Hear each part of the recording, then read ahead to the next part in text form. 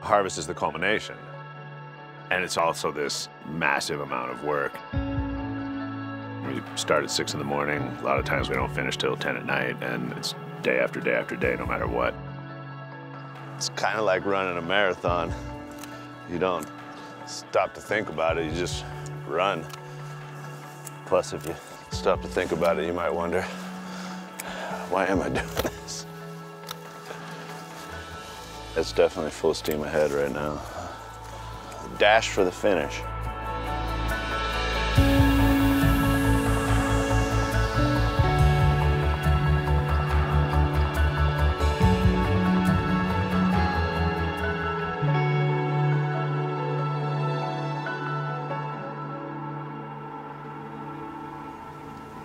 all strains have their own characteristics. Then you kind of have to learn for each each strain. What's, what is it going to do? How's it going to finish out? What are its telltale signs? There's a bittersweet sensation that happens during harvest.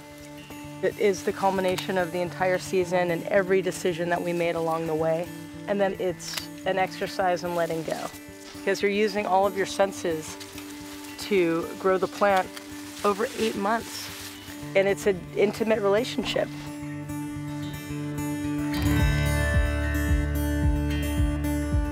We start harvesting mid-September and we hope to be done by the end of October. Then it takes a few more weeks to get everything dried and organized. Super frosty. This plant knows how to survive and thrive through this changing environment. So that is a really comforting thing. Nine and 7.9. It's really fun to get to follow these plants that you really do grow to love over the season. And now it's that exciting stage of knowing these plants will go out and be in somebody's life. Curing is as much of an art as growing. It's making sure the humidity's right, that the temperature's right. We're growing top shelf weed here, and in order to do that, we need to be perfectly careful about every step in the process. The transition into fall is really about a shift in frequencies. The summer is this high frequency, super energetic buzz. And then in the fall, the frequencies come down to this low frequency hum. It's deep and it's ancient. There's a great sense of accomplishment and gratitude, coupled by the understanding that the work isn't over.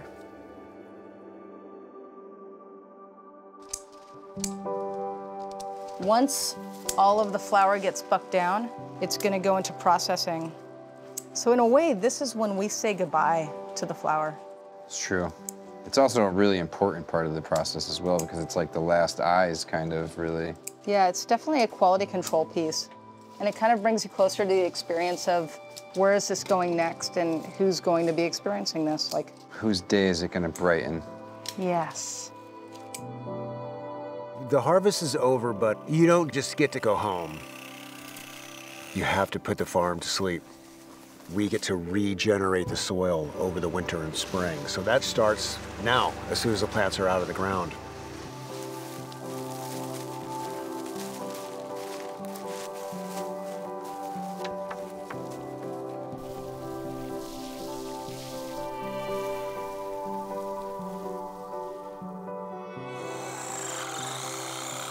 Timber! The goal is to get the farm ready for winter. It's kind of the, the wind down. It's been a long, it's been a long, hard year. We're gonna go through and we're gonna sow cover crop. The cover crop will soak up the nutrients. We'll cut it in the spring and incorporate it back into the top layer of the soil to be able to just continue the cycle.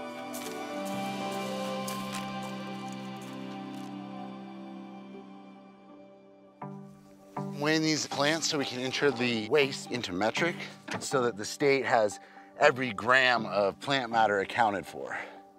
Metrc is pretty much the state system to try and check people from possibly putting product out on the black market. The system's just obviously set up for indoor growers. If it was uh, kind of a normal season and it was raining right now, these things might even weigh twice as much as they do now. It's so variable that I just don't understand why this really matters. It feels good to make it through the hurdles, the permitting processes, the layers to compliance. It's a lot more complicated than in the past.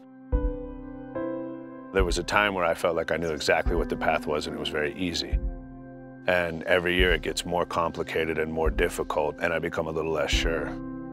I've spent no idea how many hours reading proposed legislation, going to supervisors meeting and advocating, or going to the state legislature to advocate. Enforcement without opportunity is a broken paradigm. We've made a marked difference in the process, but there's a lot more to it than that. The way that the regulatory system has been crafted is exceptionally difficult, and it is wiping out a lot of the traditional farmers. I've always felt I needed to figure out how to navigate this for myself, for my family, for my community. It's been the hardest thing I've ever tried to do. Solidarity is a basic human need, I think. Trying to navigate this complex and changing system and trying to do it together. That's something that has been a, a very, very powerful experience and something that I treasure deeply.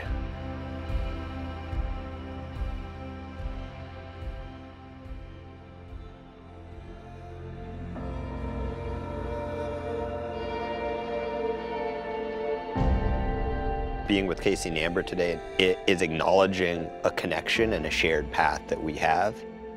It's really special to have the moments we share be around things that are so profound as taking a life for food.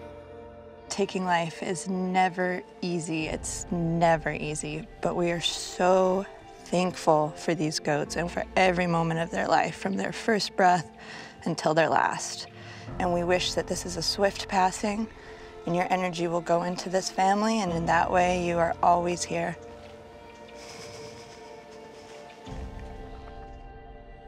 I've heard it said many times that animals that are raised in this way have one bad day.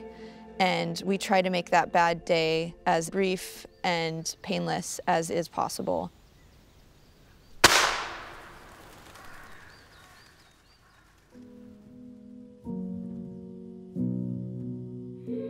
We feel very fortunate to have a direct connection with the lives that will continue to provide us with life.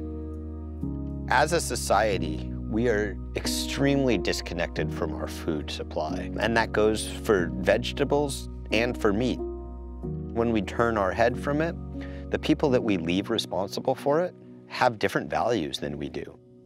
When we take that back from industrial agriculture, we can create something better.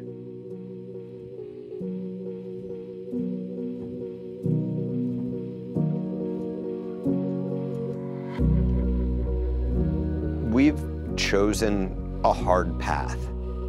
We've chosen to have a life dependent on all these factors that are outside of our control.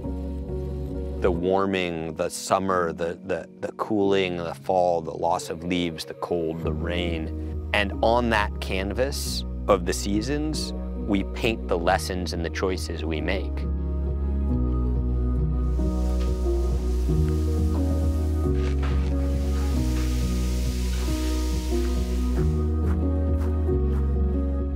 Successful year is being able to navigate this incredibly complex transition while focusing primarily on the health and well-being of these plants and the people here. It has taken more resilience and more endurance to get through this season than any other. In some ways, this is the best year we've had. I would say this has been a long season. It's been a good season. It's been a joy to participate in this journey. Much love and great success. Cheers. To a season well grown. Great success. Cheers, y'all.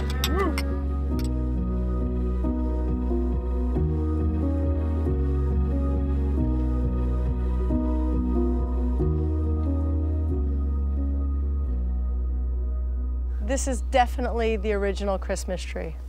The presents are the tree. Happy holidays.